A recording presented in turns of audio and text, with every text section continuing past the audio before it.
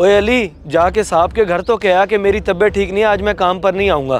तो अब्बा आप फ़ोन करके कह देते उन्हें। वो फ़ोन तो काफ़ी देर से कर रहा हूँ उनका नंबर ही नहीं मिल रहा। इसीलिए तो तुझे कह रहा हूँ कि जाकर कह दे वो इंतज़ार कर रहे होंगे। जा मेरा बेटा। चल ठीक है यार फिर मैं तुझे शाम में मिलता हूँ अभी मैं जा रहा हूँ।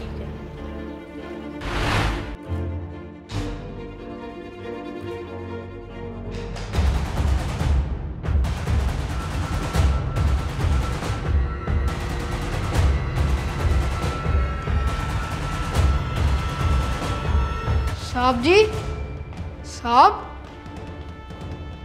अली तू इजाज नहीं आया? नहीं साहब उनकी तबीयत ठीक नहीं थी वो इसीलिए आज नहीं आए।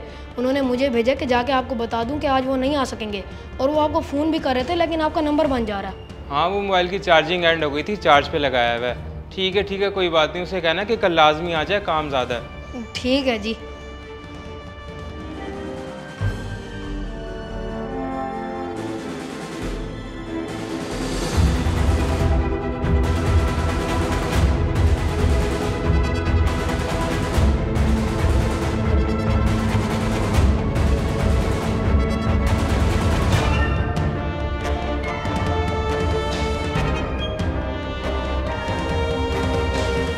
लगता तो बड़ा महँगा है।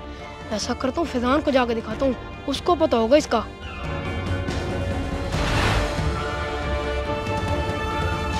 वे ये तो आईफोन है। आईफोन तो बड़ा महँगा मोबाइल है। तेरे पास कहाँ से आया?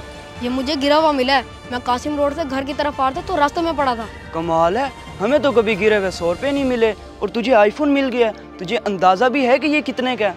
नहीं मुझे तो नहीं पता। पचास साठ हज़ार का तो होगा। पागल हो गया है क्या? ढाई तीन लाख रुपए का है। आम चीज़ नहीं है आईफोन तीन लाख? इधर दे जल्दी से। मैं अभी जाके अब्बा को दिखाता हूँ।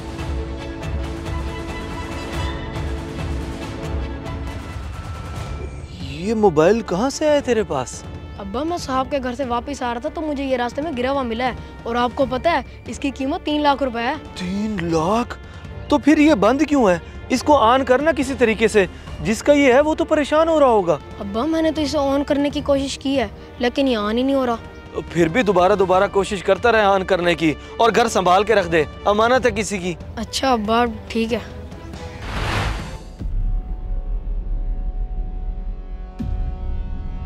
बस यार नुकसान बता के थोड़ी होता है। मोबाइल चार्जिंग पे लगा हुआ था बल्ला जाने कौन आया कब आया और हाथ दिखा गया।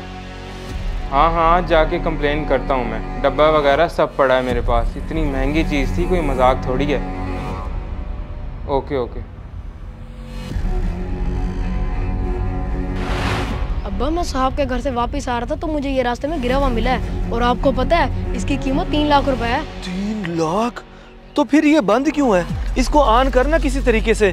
जिसका ये है वो तो परेशान हो रहा होगा। अब्बा मैंने तो इसे ऑन करने की कोशिश की है लेकिन ये ऑन ही नहीं हो रहा।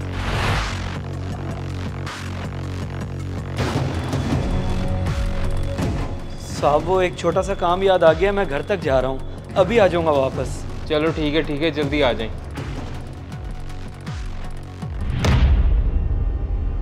अब्बा मैंने बताया तो है आपको कि ये मुझे गिरा हुआ मिला था। बेटे मैं तेरा बाप हूँ मेरे सामने ड्रामे ना कर। सच सच बता दे तूने कहाँ से उठाया है? साहब के घर से ना? नहीं नहीं अब्बा मैं क्यों उठाऊँगा भला उनके घर से? ओ बकवास मत कर। साहब का फ़ोन है ये चार्जिंग पे लगा हुआ था वहाँ से उठाया तूने और कहानियाँ कर रहा है कि रोड से मिला है। लेके चलो फिर तुझे उनके पास। नहीं नहीं अब्बा मुझे ना लेके चलो उनके पास। मैं बताता हूँ आपको। हाँ अब्बा उन्हीं का है। शर्म ना आई तुझे ये हरकत करते हुए। उनके घर मुलाजमत करता हूँ मैं। कितना ख्याल रखते हैं वो हम लोगों का। और तू ये हरकत कर आया है। अब जाकर देता हूँ उन्हें वापस। शर्मिंदा करवा के रख दिया उनके सामने। जाहिल।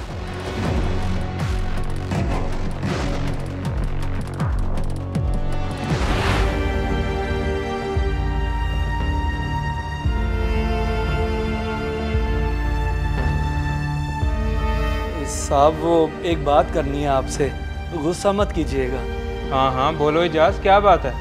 साहब वो आपका ये मोबाइल किसी और ने नहीं बल्कि मेरे बेटे ने ही उठाया है। कल जब वो आया था ना आपको मेरा बताने के लिए तो जाते जाते ये नादानी कर गया। तुम्हारे बेटे ने उठाया था लेकिन वो ये कैसे कर सकता है? साहब अब मैं क्या कहूँ उसकी इस बेवकूफ़ी का? मैं उसे अच्छा भला डांट कर आया हूँ। अगर आप कहते हैं तो मैं उसे आपके सामने भी ले आता हूँ क्योंकि वो आपका कसूरवार है।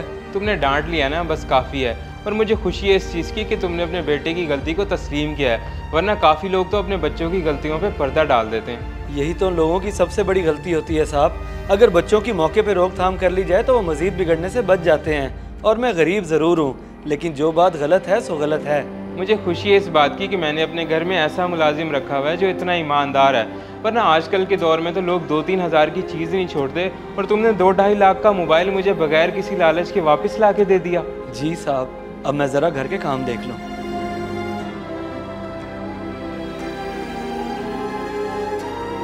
इस मैसेज को सदका जारिया समझ के ज़्यादा से ज़्यादा शेयर करें। शायद आपकी वजह से किसी की इसलाह हो जाए।